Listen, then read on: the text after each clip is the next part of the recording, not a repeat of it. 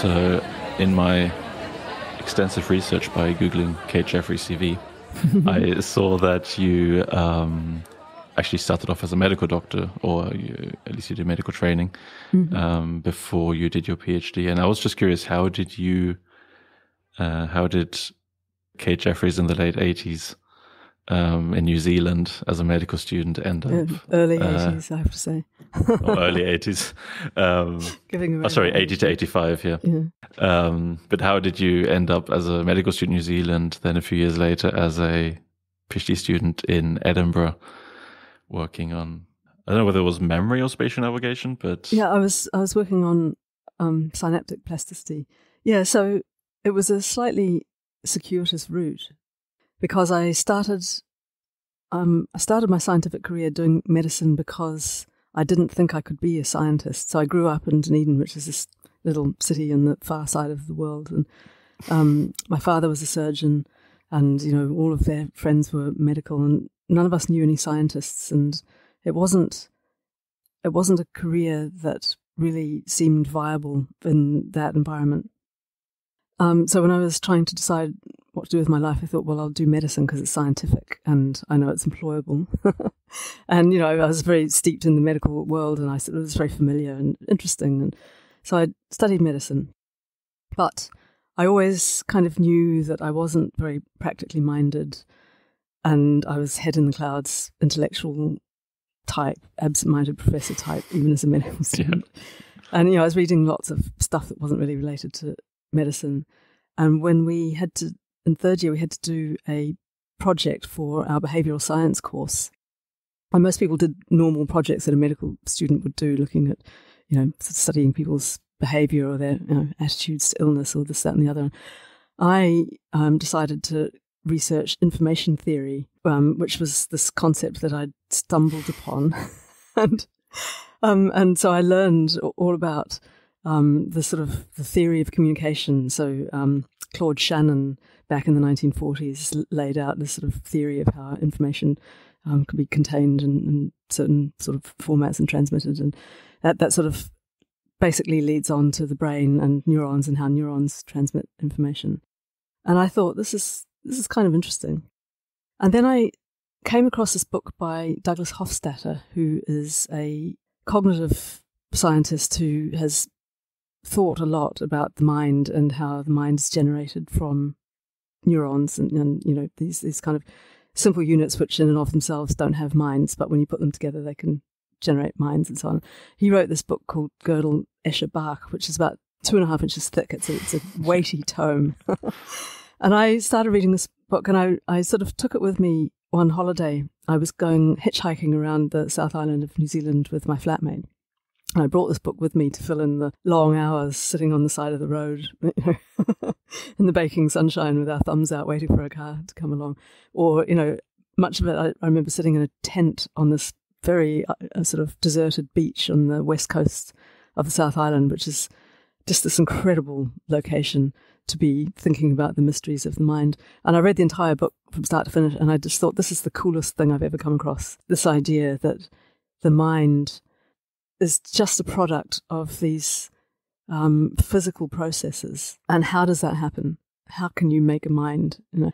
And so, so it sort of started from there. I then went, you know, went back to the hospital and finished my training and so on. But it was kind of preying on me that really I wanted to be studying this other stuff. And I thought, how do I do that? And so I decided to do um, a master's degree and see whether research is the type of thing that actually I, I could do. So by now I had a degree and I knew that I could pay the bills if I ever needed to, if I, you know, were doing medicine. But I thought i will try my hand um, at, at scientific research. And so I went to the, the only neuroscientists I knew of, which were in my hometown of Dunedin, where I had done my um, first part of my medical training. And I discovered that in the psychology department was this very young and energetic new professor called Graham Goddard, who was studying this structure in the brain called the hippocampus, which I had dimly come across but didn't really know anything about. And he was interested in the way that the connections in hippocampal neurons can change in strength. And he said, Yeah, why don't you join my lab for a year and you can do a project and see how you like research? And I was super excited because I thought this is my chance to really study the brain. Um, and I thought, okay, well, first of all, I'm going to finish the plan I had already formed, which is go to England for a year and just, you know, do. So young New Zealanders will often, um, at the start of their adult lives, they'll go and spend some time overseas. It's called getting your OE, your overseas experience. And then they'll go back to New Zealand. um, I thought, okay, I want to do my OE. So I'll, I'll go to, to, London. So I'll, I'll spend this year in London and then I'll come back and I'll do my master's with Graham Goddard. And just before I went to London, I went hiking with some friends in the mountains of the South Island, which is very, very rugged, inhospitable um, kind of countryside, very steep, jagged mountains, very, very high, quite dangerous. And while we were in these mountains, like days from anywhere, um, we were caught up in this big storm, and we spent a night huddled in our tents. In fact, it may, maybe more than one night, huddled in our tents with the rain lashing down and the wind and you know, the rumblings of rocks and the mountains above us. And, you know, I thought we were going to die. And then the rain cleared and we kind of staggered out and went to Queenstown, which was the nearest town to where we were. Um, you know, staggered into the nearest cafe, bought a coffee and newspaper, sat down, thought, whew, you know, we made it. Opened the newspaper, and there were on the front page was this story of a neuroscientist who had been caught in this storm while out hiking with his family and had been swept away in a river and drowned and it was my would-be supervisor Graham Goddard. I was absolutely um, devastated. Um, it was a terrible, terrible tragedy. Um, and he left behind, you know, wife and young child, and also, you know, shattered dreams of all of the people who were working with him and so. On. Um, so I so I went to London and I, I did my OE. While I was there, I got a um, a letter. So in those days, there was no email, so it was a typed letter from Cliff Abraham, who was a colleague of Graham Goddard's. And he said, Look, I remember when you came to visit, and um, I remember that you wanted to come and do a master's. So that offer is still open. You can come and work in my lab. I'm working on this um, phenomenon also in the hippocampus called LTP, which we think is how memories are made. And I thought, oh, that that sounds great. So maybe I can, you know, maybe my plan hasn't turned to dust at all. And he also said, while you're in London, you should go and visit John O'Keefe, um, who was working on Hippocampus. Uh, he's kind of an interesting guy. Yeah. And so I went to visit John O'Keefe.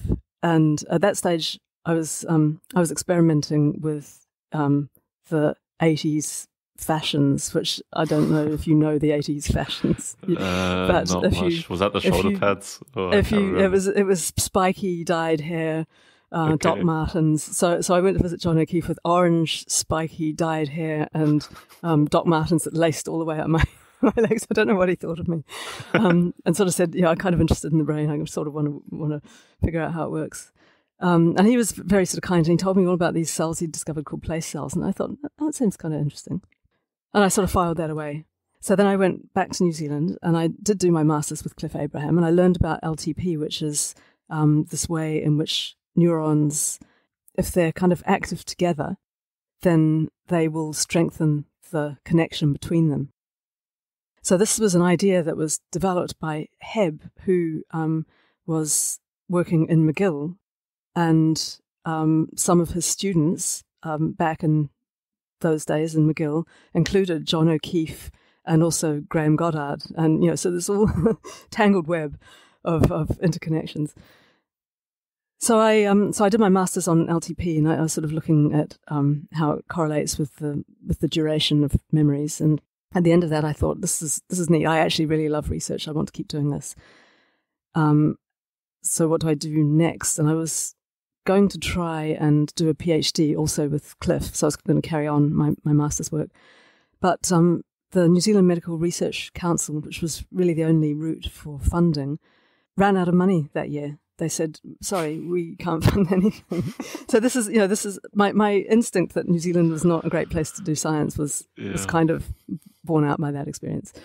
Um, so they, they, said, "You haven't got the funding, sorry." Um, so I thought, "What am I going to do?" And I came across an advertisement by um, this this um, scientist in Edinburgh called Richard Morris, who I knew of because he was very famous in the field of LTP and he had been trying to link it to learning. So I'd read all his papers and I thought, you know, he's a famous guy. So I wrote to him and said, Look, I know you're advertising for a postdoc, and I don't actually have my PhD yet, but I do have a medical degree and I really want to come and work with you. And amazingly, he took me on, sight unseen. so I travelled to Edinburgh and I did my PhD with him and uh, learned all about LTP. And while I was there, I had the opportunity to visit John O'Keefe's lab again, this time now knowing something about the area. And I discovered place cells. And I thought, you know, LTP is interesting, but place cells are amazing. I want to study place cells. And that was the beginning of the rest of my career, basically. that was a much more interesting answer than I expected. Sorry, I thought it was gonna. No, no, that was great. I thought it was gonna be something like, well, you know, I did medicine, I didn't really want to do it, so I thought, well, I'll just, you know. You did say you could edit this down, right? And you did say I could wander no, off track, and it doesn't matter. I'll keep this. You... that was great. I also didn't know that you'd already met John O'Keefe before even doing your master. I mean, no, that was really fascinating. Um, and like one question I uh, also wanted to ask, which you kind of already answered, is um, whether Richard Morris was already as famous as he was. Because I mean, this is a general point. I'll, you know, I learned, started learning about this stuff 2014. I took Neil Burgess's course literally three weeks in, John O'Keefe won the Nobel Prize. So like I know that this is big stuff, right? right? Like this is this is how I got to know it as something like this is really famous, really cool research.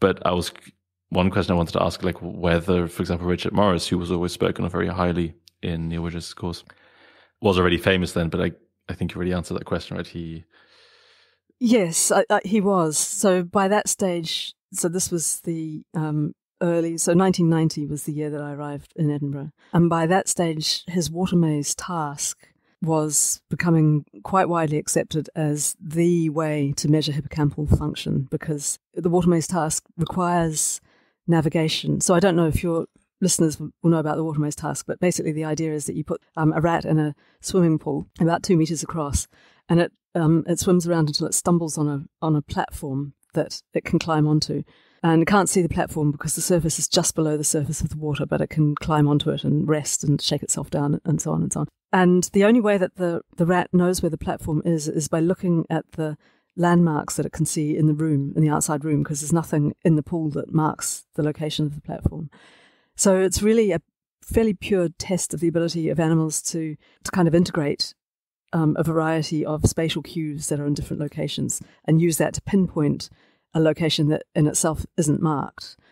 And it turns out to be extremely sensitive to damage to the hippocampus. So, the landmark study that Richard Morris did with John O'Keefe was to lesion the hippocampus and show that um, no, sorry, actually, that predated um, his work with John O'Keefe. So he showed that if you lesion the hippocampus, then the animals are um, very impaired at finding the water maze platform. And then he collaborated with John O'Keefe, and they looked at what happens if you block LTP. So this memory mechanism that I had been studying um, with, with, Cliff Abraham.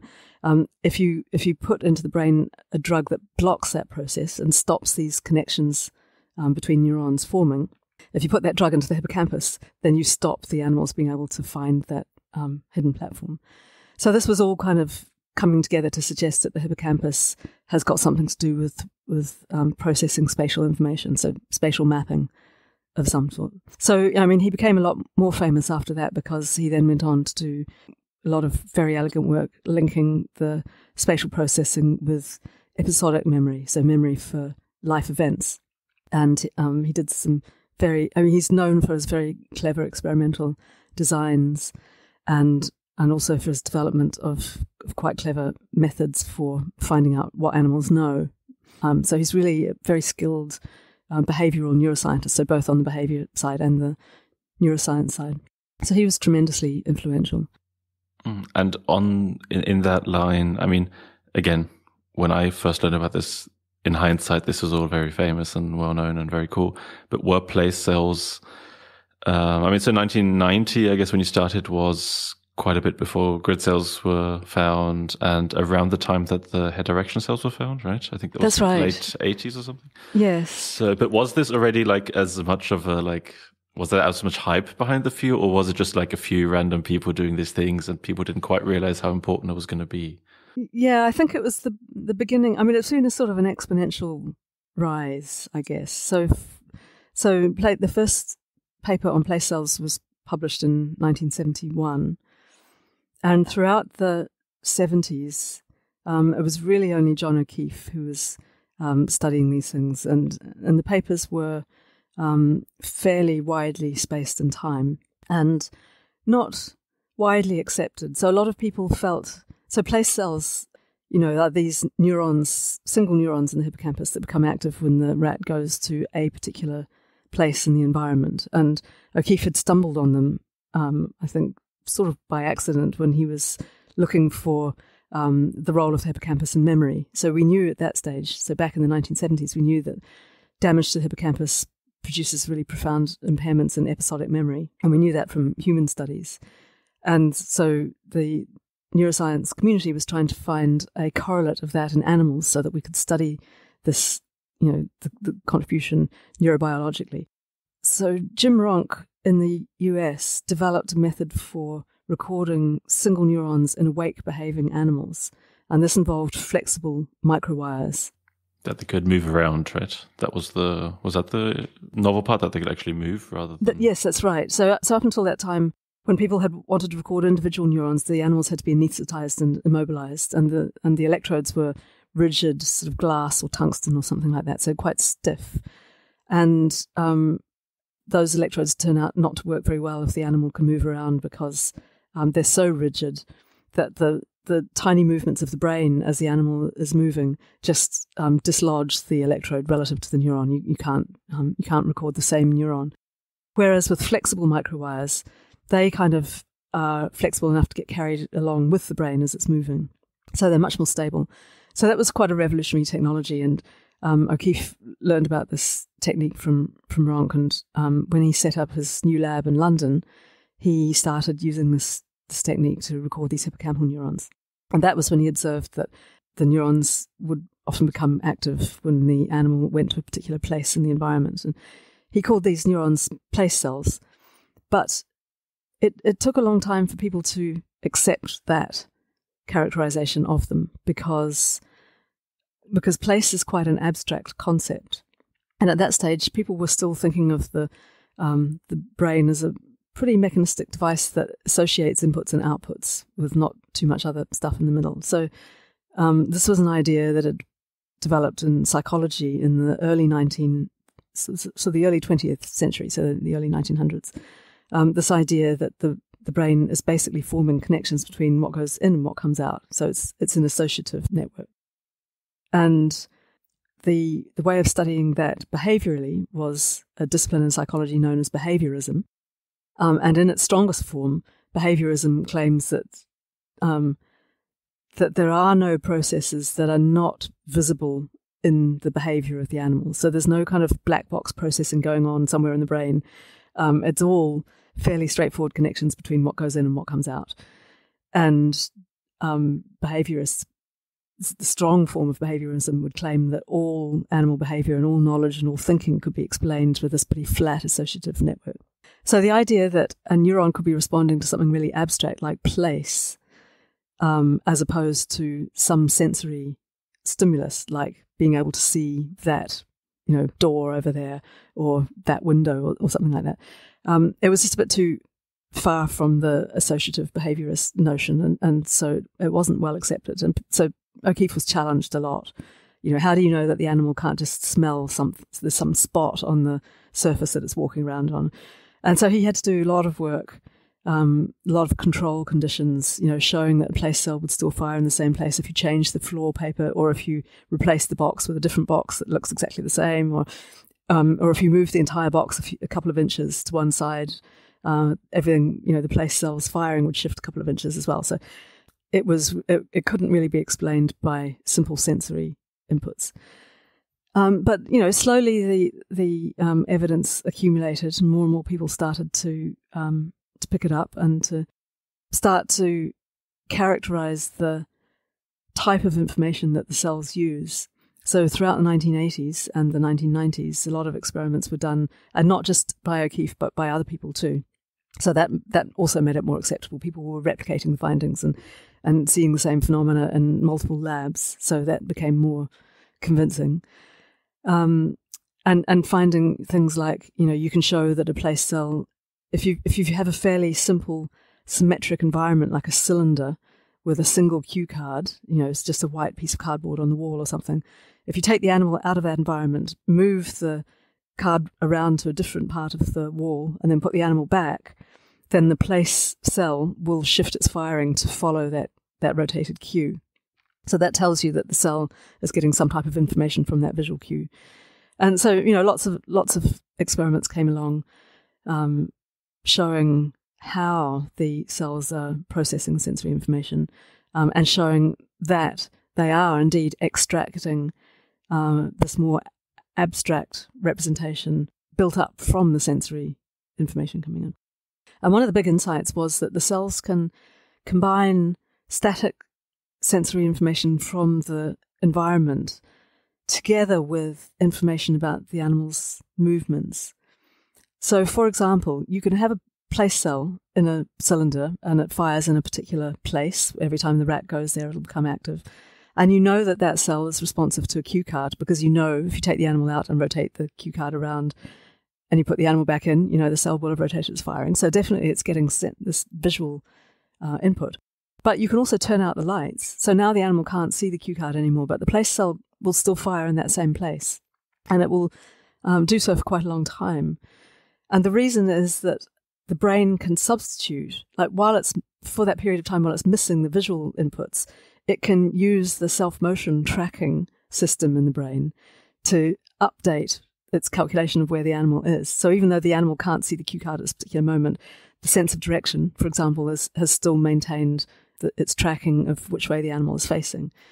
And it can do that for quite a few minutes. And then when the lights come back on and the animal can see the cue card again, if the sense of direction had gotten a little bit out of alignment, it adjusts itself once the animal can see the cue card and it switches back.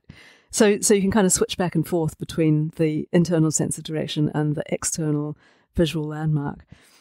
And that, you know, again, that that that tells us that what the cells are processing is to do with these spatial characteristics, place and direction.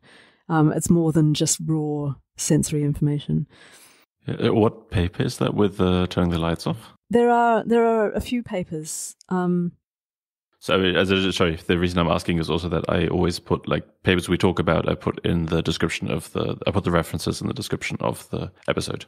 So, and I actually don't know that paper. Yeah. Yeah, there are there are um, there are sort of several looking at what happens. Some are looking at the head system, and some are looking at um, at place cell firing. And then there's the experiments that I did when I was in John O'Keefe's lab. So I went to, to work with John O'Keefe as a postdoc after my PhD with, with Richard Morris. And so one of the things that I was looking at is this interplay between um, what the animal can see and what its sense of direction is telling it. And so what I found was that um, so you can do this experiment where you take the animal out, you rotate the cue card and put it back, and, and the cells will rotate. But the other thing you can do is you can take the animal out, put it in a in a little box, very slowly turn the box around by let's say 180 degrees, and put the animal back in the environment. And if there's no other conflict, so if you've taken the cue card away, so there's, no, there's nothing to um, tell the animal that it's wrong in its assessment of which way it's facing. The fact that you've turned the animal around 180 degrees will rotate the place fields by 180 degrees as well. So it's like the animal was carrying the direction of everything around in its head. Um, and then when you put the animal back in the environment, the place cells use that to establish their firing fields. And then I did some work sort of looking at what happens if there, there is in fact a conflict between the what the animal can see and what its internal sense of direction tells it is where it thinks it's facing. And you can switch the trust in that system between the sense of direction and the visual cue card by teaching the animal that one or other of those things is not reliable. So, for example, if you move the cue card so that the animal can see that it's moving, then the, the place cells learn okay, we can't trust that cue card, it moves around. So, it's not a very good uh, ind- indicator for our sense of, you know, for our directional orientation. So we'll use the sense of direction of the um, the rest of the brain instead. So you can actually see this dynamic updating and learning um, of the spatial system based on past experience. So it's quite a plastic system, and that's what we think all of that LTP stuff is for. It's for adjusting all of these connections and, um, you know, helping the system adapt on the basis of experience. Yeah, and was that then was was that then your PhD, the relationship between LTP and place cells, or was it No, my PhD was um, it was looking at the relationship of. So I, I was looking at water maze um, behavior because I was in, in Richard's lab for that, and I was looking at the um, correlation in individual animals between how easy it is to, to, to induce LTP and how well they learn the water maze task. And I found this quite good correlation between those two things. So there's a lot of individual variability in plasticity, and that was reflected in um, speed of and, and, durability of spatial learning. But you know, when I then went to um, work in John's lab to look at place cells, I carried with me this sort of interest in plasticity and learning and how the, how the system learns and, and updates.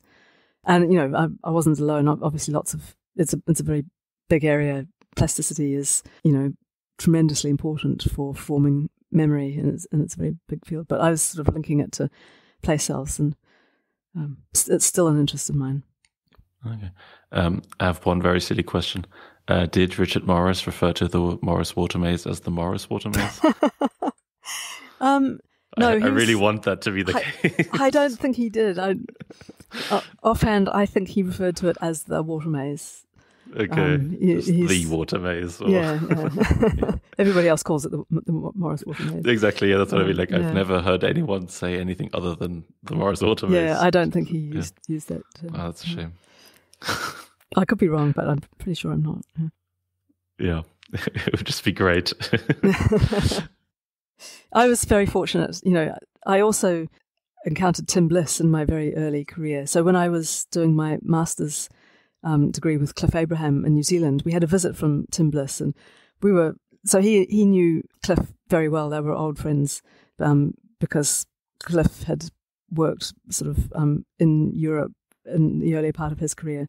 Um, and in fact, I hadn't really realized, but I was Cliff's first um, postgraduate student. I, I, had no idea how young he was. To me, he was a sort of grandfatherly yeah, yeah. figure. um, and so Tim um, visited Otago while I was there, and, and um, so we had quite a few scientific discussions, and um, I kind of felt like I got to know him quite well. And so when I went to Edinburgh, I'm pretty sure actually that he put in a good word for me with Richard, and that was one of the reasons that Richard took me on sight unseen as a PhD student. But Tim um, examined my PhD thesis so I was, you know, tremendously privileged to have. So he discovered LTP. I, I probably should say that because it's not necessarily something you know, but he he discovered um, LTP, and um, in fact he um, was working in um, McGill with Hebb. So he's another one of these connections. With, you know, um, I'm not, actually I can't remember if he worked with Hebb or if it, if it was slightly after. But anyway, he was very influenced by Hebb's ideas, and his idea was to try and see if he could see uh, this connectivity forming between neurons. And he didn't manage to do that for his PhD, so his PhD was sort of a failure. But when he went to visit Norway to visit his friend um, Terje Lomo, Lomo was studying um, neurons in the hippocampus. And he, he said to Blisslet, you've got to, you've got to look at this thing that I've found. I've, I found that when I stimulate these um, pathways into the dentate gyrus part of the hippocampus, when the preparation gets a bit tired at the end of the day, if I give this high frequency burst of pulses, then everything gets much stronger. Um, Bliss said, "Look, this is this is amazing. This is synaptic plasticity. This is what I've been trying to find in my PhD, and I was yeah. looking in the visual cortex, but here you found it in the hippocampus." So um, he and Lomo um, went to London and um, and got this working, and they published this paper, which has had possibly one of the one of the most highly cited papers in all of neuroscience uh, reporting this phenomenon of LTP. Um, and LTP is it's now so well established that it's just that we just we just talk about LTP like every every neuroscience student knows what LTP is more or less without explanation. And so to have Tim Bliss come to New Zealand while I was there was this incredible privilege, and to have him examining my PhD was also this incredible privilege. And um, so when I started applying for jobs, I was I, I, wrote to Tim and said, "Look, would you be one of my referees, along with Richard Morris and John O'Keefe?" So I had these three luminaries. yeah, it's pretty good list of references. Yeah, I, and I, I didn't fully, I think, back then appreciate just how incredibly lucky I had been to just fall in to this this network of people who have just been pivotal um, in our understanding of this system. And you know, looking back, this this little kid from New Zealand with with big aspirations to you know do science, you know, I I just can't believe how how it all turned out. Sometimes it was amazing. So yes. um, so yeah, so so that was that was how That's I got started. Really crazy the coincidences here. I mean, as just from meeting the people randomly, and yeah, that's pretty crazy. Um, yeah, I think it does say something about the importance of networking and the importance of introducing young scientists to senior scientists in the field, and you know that we have sort of mechanisms for doing that, conferences and so on. And I think we need to remember as a discipline how important those opportunities are in shaping people's careers and inspiring them and all of that sort of stuff. Uh, one question I had about something you said earlier that I mean that Richard Morris offered you the PhD position without. I mean, did he literally just get that one letter from you, or was was there any more to it, or was it just you wrote a letter? He said, "Okay, if you want to come." Just... Some, something like that. I mean, I, I mean, I think you know he he must have. Um, I mean, he knew Cliff Abraham, who's a well respected figure, and, and um, like I say, I think possibly Tim Bliss, or he possibly also asked Tim, or Tim said something, or, or, something like that. But you know, in those days, I mean, I was in New Zealand, and, and Richard was in Edinburgh. I wasn't going to fly fly over for an interview. Um, we didn't have Zoom. We didn't, you know, we had telephones. I think we possibly had. That would have probably cost a fortune, right? Yeah, it did. Yeah, and and you know, um, so it was it was definitely not the um, hoops that we make postdocs and PhD students jump through these days to get positions. Yeah, I wanted to ask, like, whether that's. Do you think that's a good system? I mean, like, because now it's a thing where you have to, you know, hand in all these things, your CV, you meet the people, you have interviews, you have several letters of recommendation, etc., etc. um, I mean, what do you think are the advantages, disadvantages of either system? Well, I mean, the system that we have now, I mean, to be honest, I think there's possibly still quite a lot of word of mouth um, happens and networking and, and, you know, that type of thing, which is great in some ways because it means, you know, if you've, if you've come across a really bright student um, and you know, you know, a colleague who's looking for someone um, and you can put those two um, people together, you know, in, in, some ways that's really great. But on the other hand, it, it, um, it does mean that you have this system where you're drawing a line between the, the privileged people who are who have contact with those networks and the less privileged people who haven't. So um, it's fine if you uh, if you stumble on a network. And I, you know, I was in some ways quite privileged because although I was in New Zealand, um, I was in medicine, so you know that gives you some credibility. And um, you know, I was in a sort of local network. If you've got somebody who's coming from you know somewhere in South America and hasn't really had the opportunity because of geographical distance, for example, to meet all of these people and get plugged into that network, um, those types of people get left out. And the thing about the system where you advertise widely and you have shortlists and you know all of that kind of stuff, although it's a bit more tedious administratively, I feel it's a bit fairer. So I think I think we do need to kind of modernize modernize a bit.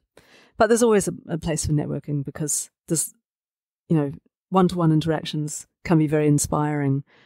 And I mean, also, obviously, an interview is not, you know, a letter of recommendation or someone saying, uh, hey, this person is really, like, this person has done research with me and is really good, is worth a lot more than someone answering 10 questions well in an interview, right? Yeah. They're, they're just completely separate different situations doing research and doing an interview. So in some sense, it also, yeah, it does make a lot more sense. Yeah, it also allows for things like, you know, this person um, didn't manage to get any publications from their PhD, let's say, but the supervisor is, is a, you know, maybe bumps into someone at a conference or something and says, I've got this really amazing student. Unfortunately, they've not published anything, so their CV doesn't look great, but this, you know, this person is super smart and extremely talented and blah, blah, blah. So, you know, I, I don't know. I mean, the, the, the word of mouth thing also has some benefits. I, I don't really know what the answer is to the correct balance between yeah, yeah. those things. yes. Um, I don't know if there is one. It's, it's yeah. always difficult, isn't it? Yeah, yeah, exactly. I wasn't expecting you to solve the problem. yeah. uh, if you don't mind, I'd like to ask a bit more, a little bit about the like history of the whole of the field almost. And uh, one way in which we could maybe do this is that um, a while ago you tweeted a tweet about uh, something that happened in the 90s. Um, so, so the date that you tweeted about is the 12th of April 1994. I don't know whether. Yeah, so there are two things that seem to happen on that day. The first is I celebrated my third birthday. um, not actually That makes too me far feel from UCL. so old. yeah, sorry, sorry. Um, but um, so that's one thing that happened. Another thing that happened is so um, I think I just described the tweet and everything. You can explain what, what what the significance behind it is. So the tweet is a photo of a it seems to be like a piece of like A4 paper onto which is with like yellow adhesive tape. You kind of not glued, but would you say glued to it? Cell, uh, sellotaped. yeah. yeah, sellotape to yeah. it, a small squ- white square of paper, basically. And on that white square of paper are lots of black dots or black and white checkered dots. And those dots seem to they kind of cluster. So they're, they're kind of they're not randomly on this on the square, but they seem to kind of cluster in three different points towards the top left, top right, and kind of towards the middle of the uh, center of the bottom. And on the there's you can see it says place cell um uh at the top of it or to the left of it and then your your tweet is uh, sometimes when I'm feeling wistful, I like to take this out, look at it, and cry. From medial entorhinal cortex, 12th of April, 1994. So, would you like to elaborate on why this makes you cry? sure.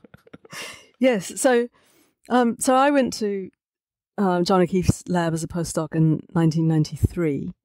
Um, so I was finishing up my PhD with Richard, and then I moved, and I was interested in place cells. So I discovered, you know, place cells when I'd visited John John's lab, and thought I want I want to study these um, these cells. And John had this very accommodating attitude, which was when people come to my lab, they can study whatever they like, basically. Um, so, which was nice in some ways, but it just kind of leaves you wide open to um, how, why, how do I figure out what to study? And so I thought, well, what's the question about place cells? The question is, how does a place cell know where to fire? So, when a place cell, you know, when, when the rat goes to a place in the environment and the cell becomes really active and fires all these action potentials, how does it know to do that? It's just a cell in the brain. It's just got other, it's just other action potentials coming in and so on. Um, so what we really need to do is to record from the inputs to that region and find out what are they doing. And one of the big inputs to the place cell region in the hippocampus is this region called entorhinal cortex. And it's a part of the cortex that is connected to quite a few other parts of the brain. So the cortex is the sort of outer part of the, the brain.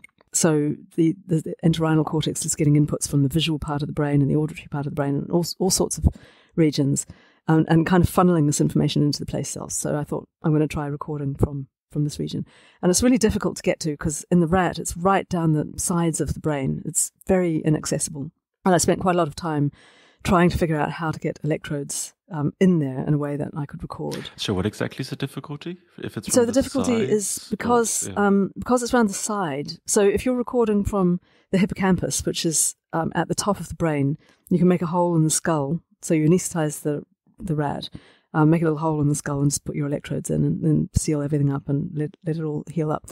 If it's around the side of the brain, the skull is much thicker and it's really hard to reach. It's behind the okay. ears and all sorts of things, and you can't just and because it's at the side, you can't just stick an electrode in. So I ended up having to go in from the top and angle the electrodes in this sort of quite difficult way. It took a bit of fiddling to, to get it to work, and it didn't always work. So I was just sort of starting to um, to get this to work, and and then when I did get my electrodes into what seemed to be the entorhinal cortex, I, I just saw lots of sort of stuff happening, and it was quite hard to figure out what was going on. Lots of cells that were just active all over the place. I did see quite a lot of cells that had a lot of rhythmic activity, and so I thought, well, that's kind of interesting. Um, and I, every now and then I would see a cell that seemed to have some sort of spatial activity. So its action potentials weren't distributed all over the environment. They would be sort of in clusters, like, like with place cells. And occasionally I, there would be multiple clusters. And so uh, what that piece of paper shows you that was in the tweet is one of these cells that I found.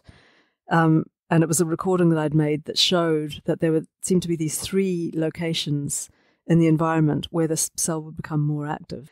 And so I kind of looked at that and thought, well, this is sort of like a place cell, but messier, you know. Um, and I saw a few of these things, but not very many. And meanwhile, I saw lots of these rhythmic cells, and um, and they, they, had some interesting properties. Um, so I thought, well, I'll, I'll, just I'll kind of write up a little paper on those, and then I'll kind of move on because I, I don't really have a handle on what's going on here. So while while I was in that phase of my experiments, these two people came to visit the lab called um, Edvard and May-Britt Moser, and they had been uh, doing their PhD in Trondheim um, in Norway um, with Per Andersen, who's one of these kind of luminary figures in, in um, LTP and plasticity and, and so on. And they had been working on plasticity. So I, so I knew them. In fact, when I had been doing my PhD in Richard's lab, they'd come to Richard's lab. So I'd met them and I, I kind of knew them and knew that they were, they were um, very super smart and super energetic. So we met again when they came to Richard's lab and they spent six months there. And, and my job and that of my husband, um, Jim, was to teach them how to record place cells so we taught them how to record place cells.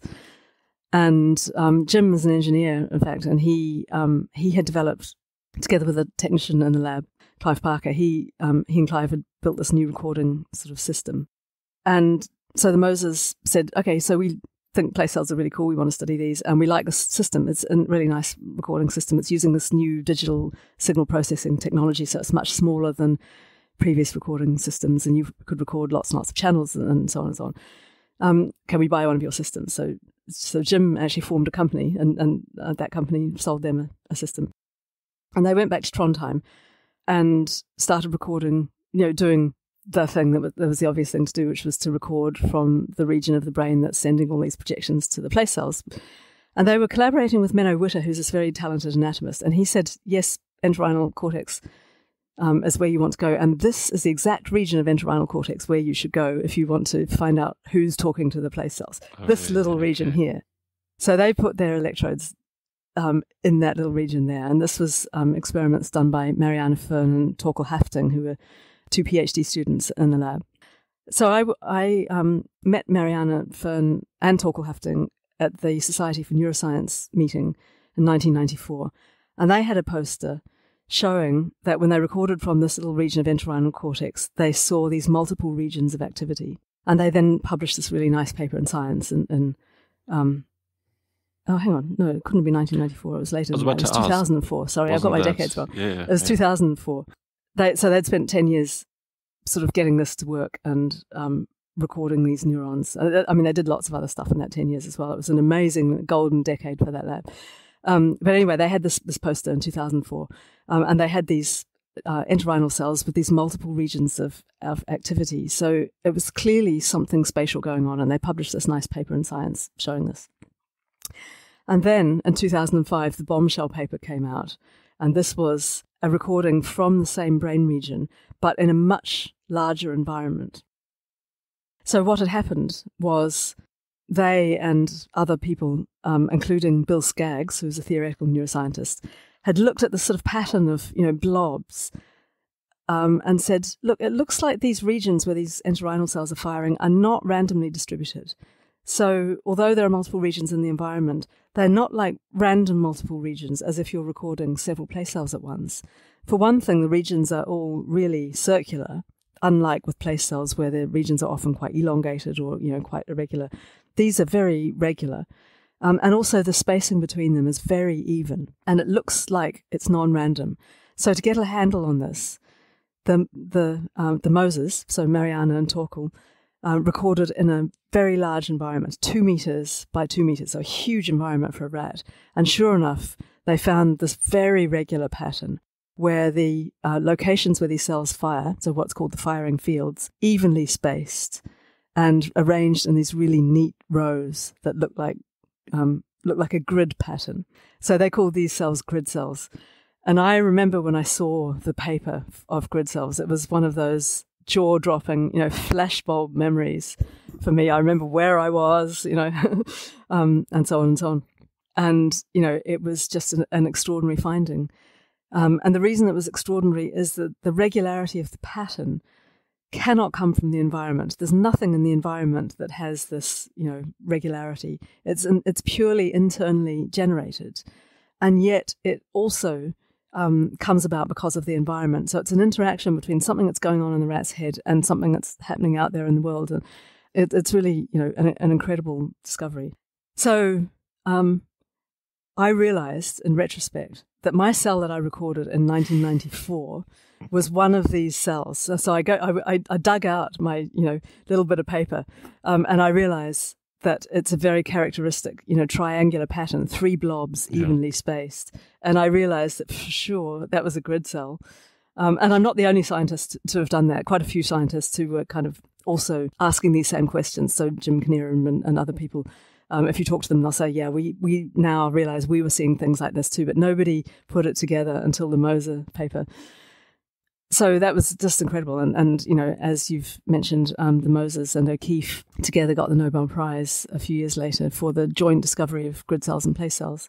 You know, also, I think a lot of us think uh, head direction cells should be in there as well. So head direction cells is, is kind of the, I, I, think of it as the third leg of the stool of, of spatial cells. But um, yeah, it was it was certainly a very um, exciting decade to have been active in that area. Was um, so one thing I think after they won the Nobel Prize, I think Neil Burgess wrote a review of the history of space navigation or something like that. And I think in that he mentioned that Menno Witter also suggested to the Mosers to use a bigger box. I think, or or what do you call it? Not box, but um, yeah, arena. Uh, arena, arena. Yeah. Yes, I, I think several people people did. So we had a, a journal club um, about the 2004 paper, um, and I actually um, remember vividly that Tom Hartley, um, who had been working with Neil, so he did his, I think, postdoctoral work with Neil. And and Tom said, I wonder if those you know blobs are they they look you know regular to me as well. And in fact, so, some of the um, people in my labs, uh, of which Caswell Barry was one and Robin Hayman was another, um, and My- Michael Anderson, so so three people in the lab at the time, started trying to record entorhinal neurons too. So even before the grid cell paper was published, um, people were looking for something along those lines. Um, but Marianne and Torkel got there first. And and the the other thing I should mention is that the recording system that they made that discovery on was the recording system that Jim, my husband, had had sold to them um, when they were in the lab. And so that recording system now resides in the Nobel Museum in Stockholm. Oh, really? So that was a really nice kind of, you know, little connection for me. So although I didn't, you know, didn't get the Nobel Prize for discovering grid cells, I came so close, you know. Yeah. but we, we still, you know, as a team, we we kind of in the Nobel Museum. But you know, I, I don't, I don't, um, I, I, I, pretend that I cry over that picture, but I, actually, I don't um, begrudge them um, that discovery because the amount of work that went into actually making the discovery and not only not only discovering them, but they also did an incredible amount of work to characterize these neurons and to figure out all the connections. And it's just a, an astonishingly beautiful piece of um, research. It's just science at its absolute best. And I, you know, I think it's an amazing, you know, one of the landmark discoveries of the century. I think is the place cells and the grid cells for helping us understand how the mind comes about. Really. Yeah. I mean, I'm also curious about the whole. I mean, like in hind, in hindsight now, what you make of the data you recorded then, and a uh, kind of like potential reasons, kind of almost more to meta level, like of you know why you didn't find the pattern. Like, was it that you didn't have? You said earlier you didn't have many spatial neurons. So were there just not enough spatial neurons for you to see the like triangular thing? Um, was that part of the problem, or did you have different? I don't know. Other arenas always kind of were they always standard sized, apart from those that were then bigger, or yes. So so we tended. So I mean, something that that I've kind of noticed a lot in science is that um, that big discoveries get made when you just kind of do something um, different from how it's normally done. so normally we would record in a you know in a box that was small enough that, that was big enough so that you could see these place fields. So a, play, a typical place field in a, in a, rat might be like a few tens of centimeters across, or, or maybe even just a few centimeters okay. across. Okay. It depends. Sometimes some of them are big and some of them are small. Um, so, so there's a sort of trade off. If you make the environment too large, then the, the rat gets tired and bored and um, full of rice before it's kind of covered the environment densely enough for you to be able to see the, the pattern emerge clearly. Yeah. So there's this trade off between getting good coverage, good even coverage, and getting getting big enough coverage. And and so the trade off is typically you have a, an environment that's about a meter, and it just turns out that um, the smallest grid, the smallest spacing between grid fields is about 30 centimeters. So in a meter sized environment, you just don't see many of these. And we just never had seen enough of them um, for, for the penny to drop, basically. But it, it, emerged in a two meter environment. Then it became very obvious. And, you know, we, we now, if you want to record grid cells, usually you'd use a meter and a half or a two meter size box. Um, but it is hard work. It's hard to get coverage in a. In I mean, they always throw around like food for the rats, so they just have some some reason for walking around, right? Is that yeah? Is that correct? Yeah, that's right. Because you're trying to get the rat to do something that's a bit unnatural, because a normal rat would never spend all of its time in in the open like that. So you know, rats would normally follow quite stereotyped trajectories. You know, rat runs through the environment, and they would venture out into the open to grab something, but then they would scuttle back to somewhere safe. And so, you know, what we're asking them to do to forage in this homogeneous way across a big open space is kind of unnatural. And um, it's also, you know, they, they end up eating quite a lot. a few, even a few try and, um, so, so typically we'll use rice or something like that, which has got a few calories and it tastes good, but, you know, we try not to fill them up too quickly. But even so, by the end of 20 minutes or 30 minutes, they're getting a bit full and they'll want to sit in a corner and groom and clean up a bit and perhaps have a nap, you know. So that's the, problem with behaving animals. You kind of have to work with the animal to some extent and um, bribe it to do things. yeah, but is there? So I'm trying to. Um, I mean, you said earlier, like one one way that people make big discoveries is by doing things differently than they were done before, and trying to just kind of find some more like some general principles like from that experience of you seeing many people doing this thing or trying to do the similar thing and then it working only for one group. Is it just questioning the assumptions as in like this is the arena um or yeah i'm just curious like whether there's anything you particularly like learned from that experience that you use now in your research or um Yes, I think one thing is sort of questioning the assumptions, or you know, just just deciding to go outside of the box a little bit. You know, there's there's it's it's kind of a a trade off. There's a there's a risk to doing something differently that it's it, that it won't work. Yeah. Um, and that the reason that people do things the way they do is for a reason because you know other people have tried this other things well and that didn't work and so so you're you know but on the other hand, if you do do something different, then that opens up opportunities to see something that, that people haven't seen before. So, for example, the switch from tungsten and glass microelectrodes that I mentioned earlier to wire electrodes um, enabled new types of recordings to be made. But you know that that it wasn't just a matter of oh let's try this different thing oh it works. I mean it took months and years of getting it to work um, because it's it requires different um, a different approach and you know you've got different technical problems that you need to solve like how are you going to get the connection to the recording apparatus if the animal's moving around and how do you move the electrodes through the brain if it's not anesthetized and, and immobilized and, and so on and so on and that requires the development of microdrive technology so one of the big things that john o'keefe did with his um, he had this very talented technician alan ainsworth who developed a a technology for moving electrodes through the brain. Um, so that opened up this opportunity. So it wasn't a simple thing, and it required a lot of persistence and a lot of perseverance and um, resources, and also the belief that that was going to pay off in the end. Um, and so, you know, it looks these new discoveries they they look like they just happened, but really they're built on the back of a lot of groundwork. And the other thing is that we tend to attribute discoveries to individuals. But when you know the backstory, so you know we've attributed place cells to O'Keefe and grid cells to to the Moser lab and, and so on. Um, but when you know the backstory, you realize that really there's a, a huge number of people were involved. Yeah. Um, and so it's like I think of it sometimes as like conquering Everest. You know, it wasn't one person that first conquered Everest. Actually, it was many, many people, including a team of Sherpas um, who helped those climbers get there.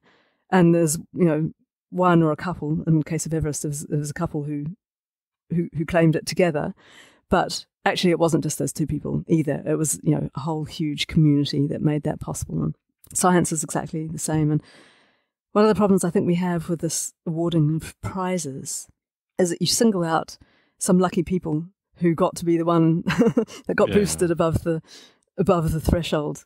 Um, but um, what happens to the others? How do you recognize them? So I think it's important when you tell the stories to to also look at the backstory, and often that's really interesting, and, and it's more interesting than the life story of one person is is the life, stories of all of the people um, that enabled those discoveries. And so I think the history of science, science historians, and um, popularizers of science are incredibly important to the whole enterprise.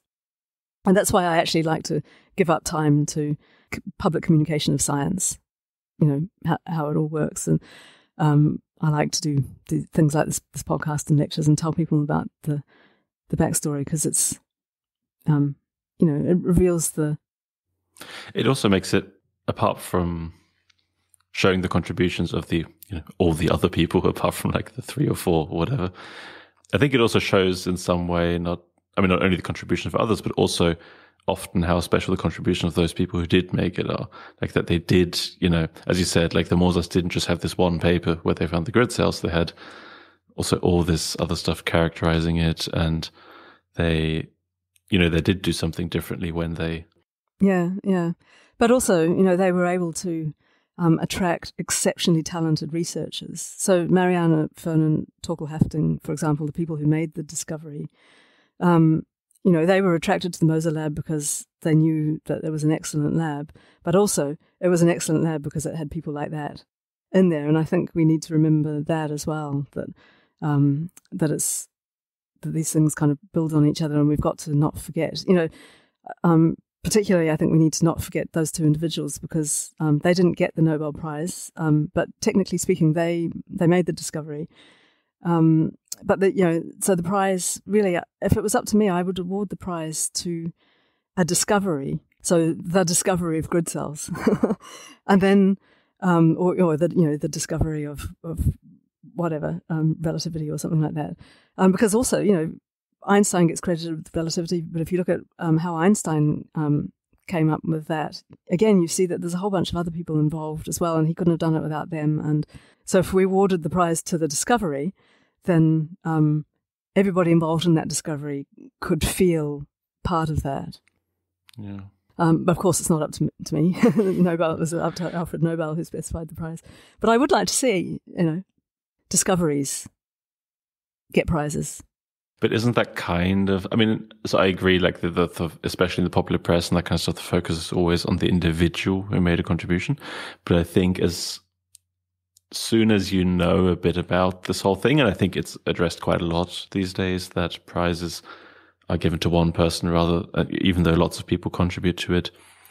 But I feel like it is kind, like I don't know. My understanding of these kind of prizes, especially the prize, is kind of that it is that like it's you're kind of awarding the discovery and symbolically some people stand in for that yes um, i mean sometimes it yeah so i feel i don't know i feel like that to me at least that kind of is in it but i yeah i understand that often it's just this person won the nobel prize because of this experiment end of story um, yes I, I i sort of agree i think the the nobel prize it sort of personalizes the discovery as well, and it, and it does acknowledge yeah, the extreme yeah. talent. I mean, you know, of course, the people who win Nobel prizes um, are exceptional scientists in their field, or you know, occasionally they're just exceptionally lucky, but usually they're exceptionally yeah. talented and lucky. You know, both. Yeah, exactly. Yeah, together. You need. Um, the problem is though that you know history then, um, you know, because history is is a huge kind of diffuser. We lose all of the detail, um, and we re- only remember the pinnacles um, and then all the other people eventually get forgotten. Um, and one of the things that we're starting to realize now is that um, particular um, groups of people are more likely to get forgotten. So, women, for example, and other minoritized groups who um, turn out, when you look at the history, to have been incredibly important, but um, because of human nature, didn't get the prize. You know, so that so you have to sort of think how do we how do we how do we kind of um, fairly attribute credit um, and really the scientific enterprise is such a community thing And also, I suppose another another issue is that by awarding prizes to individuals, we convey the impression to the public that individuals and individual discoveries are what science is all about. And so the public will often read a newspaper article that says, you know, scientists have discovered X, when really what that means is a scientific group published a paper about X, but lots of other papers didn't find X. And we're not sure whether X is a thing, and it's going to require a lot more work to find out whether X is a thing. But you know, cancer isn't the, cured yet. Yeah, yeah. The, pub, the public view of science is that science is made by individual discoveries, and, and we feed into that with our um, awarding of prizes. So I don't know. I, I, am kind of again, I'm I'm very split. It's that same thing about how do you. Although it seems to me that from what you said earlier, it does seem like John O'Keefe was someone who kind of uh, went against the grain and they it does from at least from the from what I I mean I pretty much the history mainly know what you just told me um, of John O'Keefe's work in particular. I mean, it seems to me there that he was it wasn't lots of people working on the same thing, and it was obvious that one person was going to get there eventually. Um, it, you see what I mean? Like it sounds like he kind of maybe was one of those figures who advanced the field quite a bit by himself. Yeah, I I think so, I mean, the question is, you know, would place cells have been discovered anyway? And I think they probably would have been. So, so Jim Ranck, who I've mentioned as, as um, developing the, um, you know, the, the flexible microwire technology, he was pretty close to, to finding them because he was also applying this technique that he had he had developed um, to the hippocampus. And if you read his papers from around that time, he was um, very carefully trying to characterize um, what those neurons would respond to. Um, but he didn't he didn't recognize that place was what they um, were responding to. And the question is, would he have done had he had a bit more time? Um, maybe and maybe he, he would, and maybe he wouldn't. So it's hard to know. Yeah. He did then discover head direction cells, and you know he so he um, is credited with that work, even though he didn't didn't he wasn't the first author on the first head direction cell paper. He was the okay. As one, uh, isn't it? Uh, I remember one is Taube because it's pigeon in German. Um, like just literally, oh, right, right. means pigeon. Yeah. Um, but who are the other two? There's always wasn't it three authors or something? Um, uh, gosh, no. I, I think um, John Kubie might have been one of the others, yeah, and Bob Muller. Right. Um, so yeah, there were several authors, um, but you know, Ranck was the person who first reported the observation in 1984. Oh, okay, and then Taube was the postdoc who um, was sort of given the head, head, direction cell project, you know, find find out what these cells do. And um, so he was the first author on that paper in 1990, and that's a tremendously important discovery as well. Um, and Taube then went on and did an amazing job of characterizing um, many of the, you know, the sort of sensory correlates of head direction cells. And um, he's been very influential for me because he was the first person who started to ask the question about the three dimensional um, properties of these neurons. So, yeah, so getting back to um, whether people who can be credited with this discovery, it's, it's sort of hard to, to know because we haven't got the control condition of, of yeah. not having that person make that, that discovery. But um, yeah, no, I think it does. It is it is nice to to recognise the tremendous, um, important contribution. And the other thing is um, that that that just the hope that you might be one of those people. The nice thing about science, which makes it unlike other competitive fields like athletics, you know, if you are not an Olympic athlete, you know that you'll never win an Olympic yeah. gold medal. Whereas there's always a hope in every scientist that you might win a Nobel Prize because you might Maybe one get day. lucky. Yeah. Yeah, exactly. Um, so, so that I think that that's quite a nice sort of thing as well. And uh, yeah, I think as long as you're aware that it's a bit of a lottery, then yeah, it's fine. Yeah. It's yeah, it's not deterministic. It's probabilistic, yeah. and yeah, then I think it can be a kind of nice game almost. Uh, yeah, and it brings great joy to the field. So the you know the the place cell grid Nobel Prize really invigorated. I mean, we were just everybody in the field was thrilled, or almost everybody. I'm sure one or two people maybe weren't, but um, you know, basically, it was just super nice to have that um, acknowledged as an as an important thing in, in bioscience. Yeah, I mean that's also mm. what I felt because you know I came from psychology and knew a little bit about cognitive neuroscience from the kind of stuff they tell you in a basic psychology bachelor's in the UK. But then I, when I was at UCL and did Neil Burgess and Caswell Barry's module on, I mean, it's called neurocomputation, but it was effectively half of it was on spatial navigation as an example of that. And, you know, when then John O'Keefe won the Nobel Prize like three, four weeks into that module, it was like, oh, what we're doing is really important. like, yeah. I mean, I, I liked it before, but like, it's like actually like, yeah, you get this kind of external validation. Yeah. Of, like this stuff is actually very important. What, what they're teaching you right now. Yeah. Um, oh, my um, my cat has just walked in to say hello. Uh, hello, cat. hello, cat. He's hoping I'll give him a treat. Well, I mean, if you have one, feel free. Um, yeah, do you mind? I'll, I'll yeah, be right sure. back. Sorry about that. Okay. You can edit that bit out. I should put like some elevator music or something. like, Please stand by. Pause. We'll Jeffrey, give us a cat. yeah. Um, so I wanted to talk about the 3D stuff in a second, but before we do that, I just wanted to like kind of finish off a little bit the um, your PhD postdoc experience with Richard Morris and John O'Keefe. I was just curious. I mean, they both have, as you said, uh, achieved quite a lot. Um, is there, and you worked, you know, for, I guess, the first several years of your research career in their labs. So I'm assuming they were quite influential in how you do research. Um, is there anything in particular you kind of learned from them or that you realize now like, oh, I'm doing it the way they're doing it or? Yeah, pr- probably. Or, well, certainly. I guess something I learned from both of them, um, particularly Richard, is is experimental design. So he he is very good at um, at really crystallizing a hypothesis and figuring out how to, how to test it with all of the controls that you need to rule out the other possible explanations for things. And I sort of learned a lot just from designing experiments with him and seeing how he, he does it that I think has influenced me a, a lot. Um, although, you know, often the work that I do is a bit more exploratory. It's, it's a bit more, you know, just what happens in this situation. um, but, you know, when I'm reviewing papers or if I'm um, really wanting to kind of nail an observation, it's it's always in the back of my mind. You know, what are all the various confounding factors and how do I control for those and so on. And then um, from John, I mean, I learned a lot from John, and I guess one thing is so he's he's quite sort of ethologically minded. So thinking about what are these neurons doing for the animal, given the normal life that the animal lives. And you know how do you get an animal to to express its natural behaviors so that we can you know study these neurons doing what they do?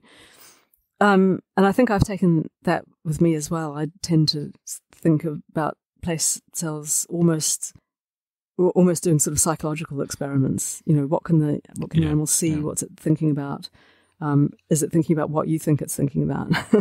Might be doing something else? Is it distracted? Is it, you know, what's its attention focused on? All of kind of stuff. So, so you know, thinking of these things as part of a system um, in an animal that's in a real world. And I, I guess that may be what's sort of partly motivated my studies of complex space and sort of more naturalistic space.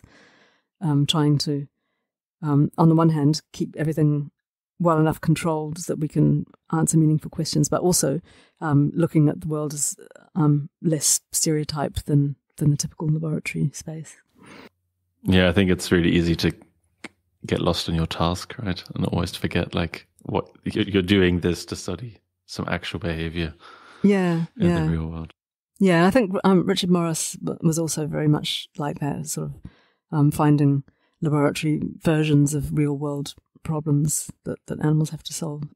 I mean, not everybody is like that. Like, there's a lot of research involves very artificial tasks, you know, like lever pressing tasks for rats and so on, things that are kind of practically easy to implement in the lab, but it's sort of hard to think, well, when would an animal actually do this in in, in real life, you know? Um, so yeah, so okay, that's true. Um, okay, so as I said, I'd like to talk about your. You have two recent papers on. Well, it turns out more than two papers, but there's two papers uh, that I've read about um, spatial navigation in three dimensions. Um, one thing that really surprised me is that so I don't know. So when I took a few courses that related to these things, I always wondered like what would happen in 3D, and somehow I seem to have missed that there is already a literature on this. like, I, I, read your somehow I thought I don't know uh, maybe I thought I'd look this up and couldn't find anything, but just hadn't looked it up or something. But when I read, so you have these two um, papers that I think one was published in Nature Communications last year and the other came out as preprint. Again, those will be in the description, of the references. When I read those papers, I only realized just how much stuff, and you in particular, had done on three dimensional work. Uh, rather, seeing like whether these these phenomena of place cells and grid cells that we, the vast majority of studies observe in 2D, whether they also apply in 3D. Um, yeah, I just hadn't been aware that that already existed. Um, could you maybe briefly summarize kind of the what you found in those papers and kind of, or maybe like what existed before and kind of what you added to that with these papers? Sure. So, I mean, the basic question is, you know, when when you record an animal walking around on a flat environment, you get these regions where the place cells and grid cells um, fire. And when the animal faces in a particular direction, you know, head direction cell will fire and so on. So we've we've kind of studied what what I think of as a flat map. So the animal is just walking around a flat surface, and we can see these sort of regions, which we think are what we call a cognitive map. And so the question is, if the animal isn't walking around on the flat, what happens to the map? Um, because most environments aren't perfectly flat. You know, very few animals live in a completely flat world, and there are sort of various possibilities. One is that the that the map follows the surface of the environment. So if you're walking up and down hills, you know, in, into valleys and so on, that that the map just kind of follows the surface.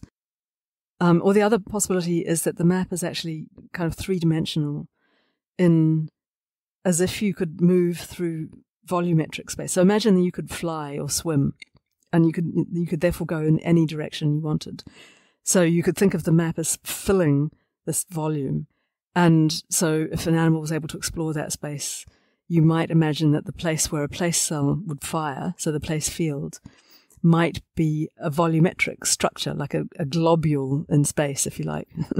and we're kind of cutting through this globule when the animal is walking around on the flat. But if the animal could move around in three dimensional space, maybe we'd see this globular um, kind of region. Uh, and similarly with the grid cells, we know that on the flat, the cells have this very regular um, arrangement of firing fields if the animal could move through volumetric space, would we see that this arrangement, this, this regular arrangement, continued into the vertical um, dimension. So would there be a, a lattice of grid fields, each one like a tiny little sphere, and all kind of stacked together. So, so I started asking that question a long time ago by creating an, an apparatus that would would let animals climb, so they could get off the horizontal plane and they could, you know, climb into vertical space. But we hadn't yet figured out how to get rats to move through a volume. So it was just let's get them to walk around in a sort of vertical plane and see what happens. And so we we created this thing called the pegboard, which is like a climbing wall for rats. It's it's a, a flat surface with pegs sticking out of it, and the rats can climb over these pegs, um, so they can get off the ground. And the question is, you know, if a place cell has a place field on the ground, if the rat goes above the ground, will that place field still be there? Like, still, will it still have the same horizontal coordinates, even though the rat is now above the ground? And similarly with the grid cells. So if, if there's a grid pattern on the floor, if the rat can be above the floor, will that pattern um, continue? And what we found is that the grid cells, sorry, the place cells seem to, they, they do have firing regions that seem to extend vertically as well as horizontally. And they're a little bit elongated vertically, so they're a bit longer in the vertical dimension than they are. So they're, they're taller than they are wide, as it were, very slightly. Um, but nevertheless, they do have this kind of circumscribed shape. So it looks like the place cells are tracking how high the rat has gone as it's walking around on this pegboard. But the grid cells don't seem to track height. So they seem to just fire. So if there was a place on the floor where the grid cell would fire, it would fire um, at every height above that location, provided the rat remained in that location.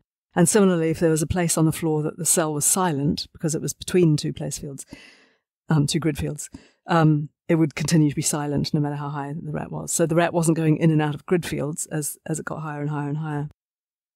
So that, that made us think maybe this map is, um, well, A, it's different for grid cells and place cells. So the place cells seem to be able to track height and the grid cells aren't. So that was slightly surprising. And also the grid cells don't seem to be tracking distance moved in vertical space. They're only tracking it in horizontal. But we also thought, well, the pegboard is a slightly strange arrangement because although the animal is in vertical space, it's it's still oriented horizontally because it's standing on the pegs. So its body is still horizontal, still horizontally aligned, even though the rat as a whole is is up above the ground now. So maybe the grid cells are caring about the location of the um, plane of the body, and because it's still oriented horizontally, they are acting as if the rat's on a horizontal surface, and they're, and they're not caring about how high, high it goes. So, what would happen if the rat was actually or- oriented parallel to the wall instead of standing on these pegs? So, I had a PhD student, Giulio Casali, who who did this experiment, and what he did was he put chicken wire all over a wall and chicken wire all over the floor as well, and he got rats to kind of wander around um, either on the floor or on the wall. So when they were on the floor, the body was oriented horizontally.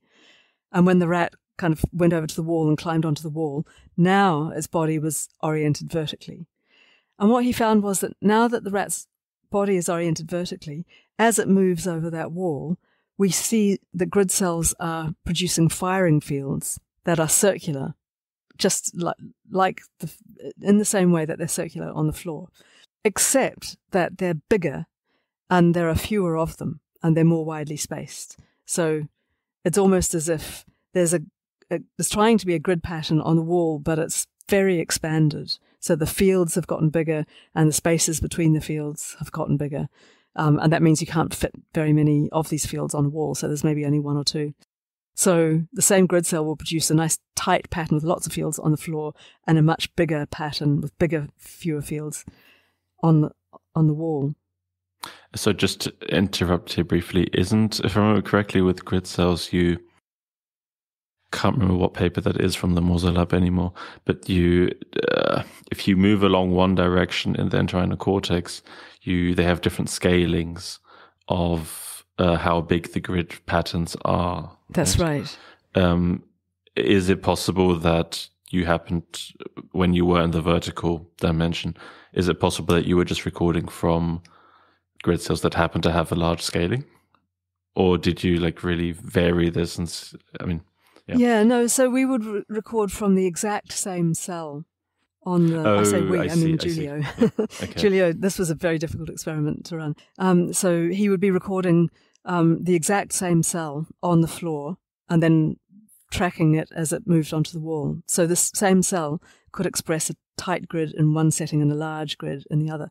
Um, but you're right there there is also this other um, aspect of grid cells that I that I didn't mention, and you're you're right to remind me to mention, which is that um, in different parts of entorhinal cortex, the scales of these things are different. So if you're right at the top of the brain, the scale of the grids is quite small, so the firing fields might be, let's say, 30 centimeters apart, so quite close together. Whereas if you go down much deeper, then the scale gets much larger.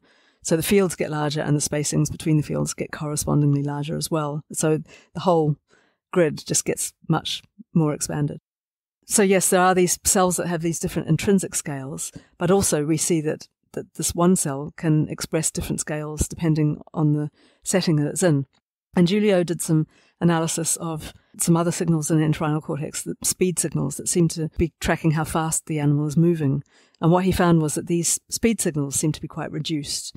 So it's as if the rat could be moving at the same speed, or let's say moving at a given speed. And if it's on the floor, um, the speed cell will respond in a particular way. But if it's on the wall, that same speed cell will respond much less. It's as if that speed cell is not correctly tracking the speed. It thinks that the rat's moving much slower than it is.